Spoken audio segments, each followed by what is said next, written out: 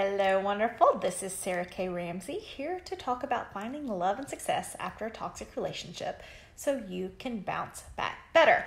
And I asked in my group, um, you know, what questions do you have as far as um, rebuilding your life after a toxic relationship? And someone asked about finding the will to go on or the will to start over or the will to um, basically the energy to create a new life okay? So as always i'm going to kind of give you guys a roundabout answer um, because i know um, the reason you're asking the question is because so many other people would just say well just do it or just just put yourself out there you know whatever else it is. And um, so i want to give you a it's a more complex question. So i want to give you a more well rounded answer with as simple terms as possible, okay? So, um, one couple different ways to think about it. One is thinking about it in terms of what the person has already stolen from you, okay?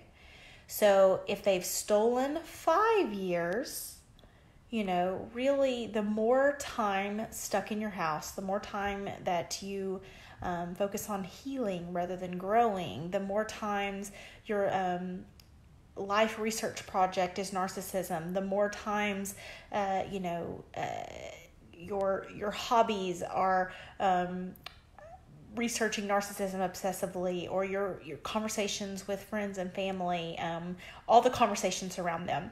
I had a uh, enrollment call today and the lady asked i asked her what she wanted in this next phase of her life. And within two minutes she was already talking about him in therapy and and she had already left this person. So it wasn't as even if they were hoping to reconcile but she was talking about him in therapy and his needs and his wants and you know his diagnosis. And i said do you realize when i asked you what you wanted for your life you started talking about his diagnosis? Toxic people train our brains to think about them rather than about ourselves okay? So the first thing you have to do is learn to retrain your brain to think about you and think about your wants and rediscover what those wants are. Okay. Now, within my, uh, when I work with my uh, private clients, they have to make two lists for me. One is a list of why they're wonder women, like what is wonderful about them, because um, after a toxic relationship, we have to reconnect with what's right with us for sure. Because toxic people put all this junk in our head of what's wrong with us, we can't do anything. They play the blame game, they make everything our fault. Okay, so the first thing you have to do is realize everything wasn't your fault and reconnect with what's right with you. There's also a process of figuring out why you are the storm, right? There's a um, a quote that I love and I hate, and it says, um, "Gosh, something about the devil." Uh, whispered in my ear you can't withstand the storm and i you know yelled back i am the storm um, and in my own life i am the storm and sometimes i get tired of being the storm right? I'm a human too. I know that um, you guys, I think uh, one of the things I'm going to do this week is get an interview with some people that have known me for um, a long time in my life and kind of talk to you guys about some of the struggles I went through and uh, when I wasn't all happy and smiley and life was good and I wasn't happily married and all those sorts of things um, because I haven't always been at this stage in my life, right? I, I have not always been at this stage in my life. And I had a sticky note at my desk and it said keep up the fight. And i looked at it and i just hated it because i was so tired of the fight. I was so tired of fighting. Um, at one point fighting um, people in my life who uh, i was always you know they were always fighting for me not to have boundaries fighting to get their way. And it just um, my my nature is not one of fighting, right? So, um, the, when you know to say keep up the fight is hard sometimes, right? Um, and I know you guys understand that, and I want to tell you that I understand that too. So, uh, part of it is learning how to get that fight back, okay? Which you can really think I do not want the last five years to steal the next five years or the last 10 years to steal the next 10 years. I don't want the person who ruined the last 20 years to ruin the next 20 years. That is a really, really, really important way to think about it, okay? Also, when I ask women for my for my private clients about that Wonder Woman list or the I Am the Storm list, it is very apparent that they get their self esteem and they get their self worth from being needed. Their identity as a mother, their identity as a volunteer at their religious organization, their um, role as PTA mom, their role as nurse, their role as caretaker, their role as daughter.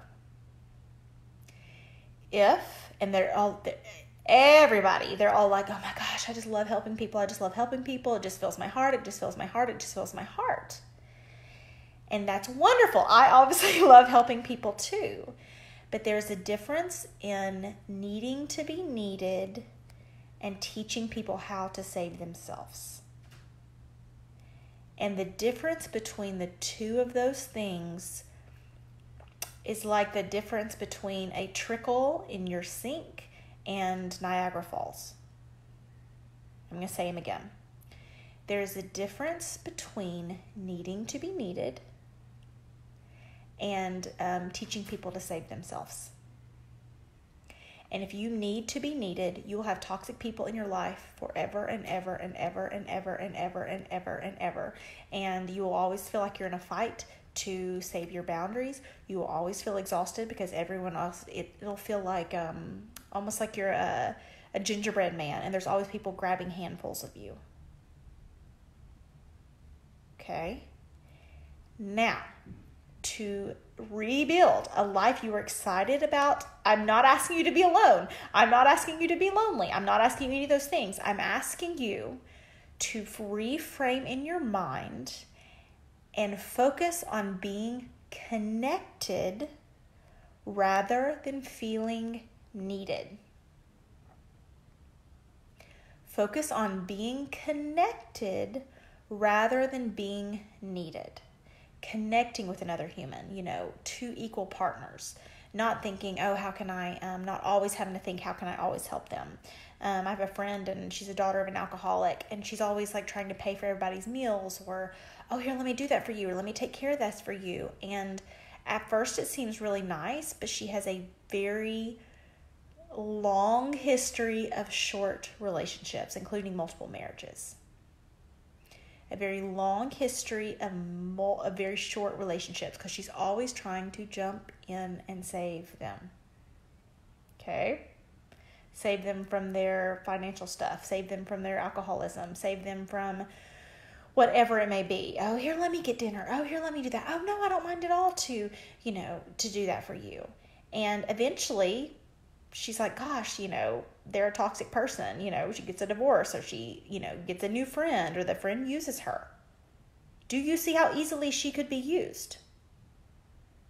And she doesn't realize she's setting herself up to need to be needed. You do not have to be lonely after a toxic relationship. Everyone out there is not toxic. Everyone out there is not toxic. Everyone out there is not toxic. But if you are going into relationships with this enormous need to be needed in order for you to feel loved, you're going to continue to attract toxic people. And to find your will and to rebuild healthy relationships after a toxic relationship, you've got to change your focus on not to be needed, but on connecting with that human connecting with another human in a wonderful way, connecting through conversation, connecting through partnership, connecting through equality, not connecting through needing to be needed and your identity as needing to be needed. Um, we can feel very comfortable in a role as you know, like moms, right? Where we're just always, oh, they someone needs me to do this, and now I have to do this, and someone needs me to do this. And we can get um, a, a, bit addicted to the busyness and um, that that gingerbread character where someone's always trying to grab onto us and um, need us for something starts to feel like normal. But a healthy romantic partnership should not feel like that. A friendship should not feel like that. So, focusing on that connection and learning the difference and what it means to have a connection with someone without uh, really setting ourselves up as their servant or setting ourselves up as oh, they just need me. Oh, oh, I got to do that because they need me. I got to do that because they need me. I got to do that because they need me. Um, that's we, we have historically been motivated that way, but it is a great way to continue being used by toxic people because toxic people absolutely see that quality in us and they think, ah, I can get them to do my stuff. And we think we can earn our right to have our turn. Yet, how I really want you to ask yourself, is it working? How often have you been giving, giving, giving, giving, giving, giving, giving, and someone said, oh, "You know what? You've just been giving so much. Why don't, what, you know, why don't I give to you for a couple of years now, or even a night or a week?" Okay, and if that is the dynamic of your relationship, then you're always going to attract toxic relationships, toxic people, even if it's toxic friendships. Okay. I hope that helps, and I hope you are having a great day and staying healthy amidst all this. And I will talk to you soon. Bye.